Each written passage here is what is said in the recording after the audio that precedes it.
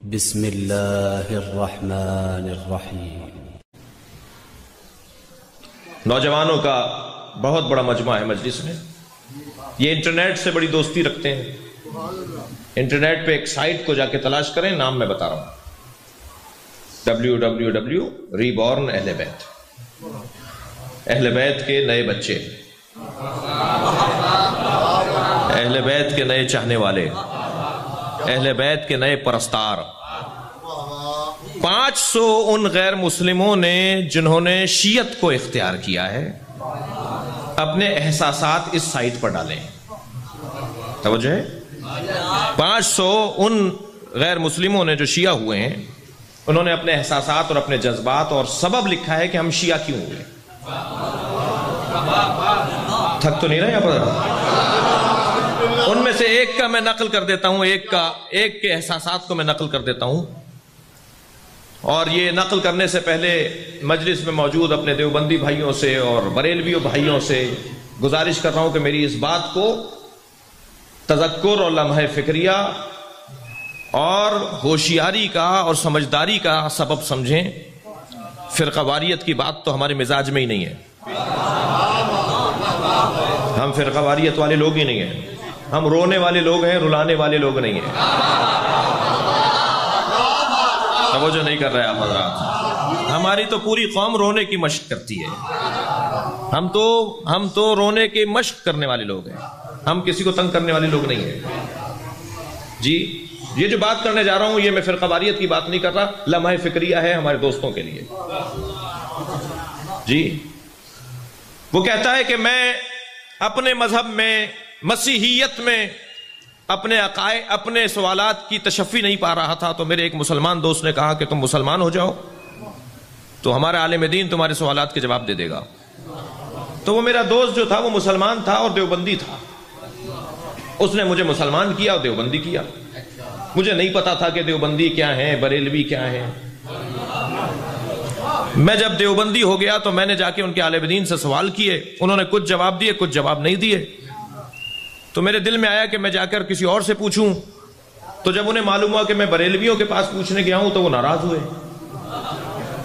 تو میں نے پوچھا، حضور، آپ کے نزدیک بریلوی کیسے ہیں؟ تو وہ کہنے لگے، بریلوی مشرق ہیں۔ ابھی پاکستان میں ایک ٹیلی ویژن کے اوپر ایک شخص نے آل فال بکا تھا نا۔ وہ کہتا صاحب، ہمارے مفتیوں نے فتوے دیے ہیں کفر کے۔ تو بھائی، تمہارے مفتیوں نے تو بریلویوں کے لیے بھی کفر کے فتوے دیے ہوئے ہیں۔ تم مسلمان کس کو مانتے ہو یہ تو بتا دو۔ شیعت کی تصویر جتنی اچھی ہے اتنی کسی کی تصویر اچھی نہیں ہے۔ کہنے لگا کہ حضور آپ کے نزدیک بریلوی کیسے ہیں؟ وہ دیوبندی عالم کہنے لگا بریلوی مشرق ہیں۔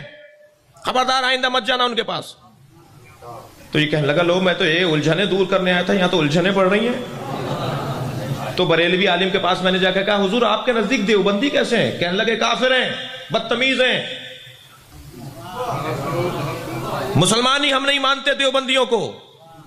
کہنے لگا، میں سلفیوں کے پاس چلا گیا، انہوں نے دونوں کو کہہ دیا کافر ہیں۔ تو میرے ایک غیر مسلم دوست نے کہا کہ ایسے جاؤ گے، ایک سینٹر ہے، یہ بات بات ہے مغربی دنیا کی۔ ایسے جاؤ گے ایک سینٹر ہے، ایک مسجد ہے، ایک امام بارگاہ ہے، وہاں بھی چلے جاؤ، وہ بھی مسلمان کہتے ہیں اپنے آپ کو۔ تو کہنے لگا، میں شیعوں کے یہاں چلا گیا۔ تو میں نے دیکھا کہ وہ اپنے سینٹر میں نماز پڑھ رہے تھے، مگر ان کے نماز پڑھنے کا انداز دوسروں سے کچھ مختلف تھا۔ وہ ہاتھ کھول کے نماز پڑھ رہے تھے۔ انہوں نے ایک مٹی کا ڈھیلا اپنے سامنے رکھا ہوا تھا۔ وہ سر کپڑے پر نہیں رکھ رہے تھے۔ وہ سجدے کی کیفیت میں اپنے سر کو خاک پر رکھ رہے تھے۔ میں ہاتھ باندھ کر ان کے برابر میں انہی کی صف میں کھڑا ہو گیا۔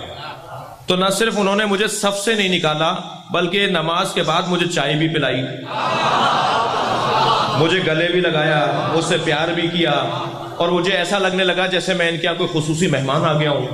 تو کہنے لگے، آپ غیر شیعہ ہیں، مگر ہماری مسجد میں آئے ہیں ہمیں اچھا لگ رہا ہے۔ تو میں نے ان کے عالم دین سے بڑھ کے پوچھا کہ آپ کے نزدیک دیوبندی کیسے ہیں؟ تو انہوں نے کہا، وہ ہمارے بھائی ہیں۔ توجہ کر لیا آپ حضرات ہیں؟ شیعت کی تصویر کیسی ہے؟ کہنے لگے، میں نے اسے پوچھا کہ آپ کے نزدیک بریلوی کیسے ہیں؟ کہنے لگے، وہ ہمارے عزیز ہیں، ہمارے بھائی ہیں۔ تو مسلمانوں کے جتنے فرقے تھے ان کے بارے میں جب میں پوچھتا رہا تو شی عالم دین ان کو کہتا رہا، وہ مسلمان ہیں، وہ ہمارے بھائی ہیں۔ تو مجھے وہیں سے اندازہ ہو گیا، جو دوسروں کو گلے لگاتا ہو وہی سچا ہوتا ہے۔ اور جو دوسروں کو برا کہتا ہے، کافر کہتا ہے، مشرق کہتا ہے، غیر مسلم کہتا ہے کہنے لگا، پھر میں نے اس مذہب پر غور کرنا شروع کیا تو معلوم یہ ہوا کہ میرے سوالات کے جواب تو یہاں مل رہے ہیں۔ میری روح کو تسکین ملت جعفریہ میں ہو رہی ہے۔ تو پھر میں نے ملت جعفریہ کا انتخاب کر لیا۔ اب ہمارے لیٹسٹ ویڈیوز کے بارے میں جاننا چاہتے ہیں تو ہمارے چینل کو سبسکرائب کریں اور بیل آئیکن کو پریس کریں۔ شکریہ۔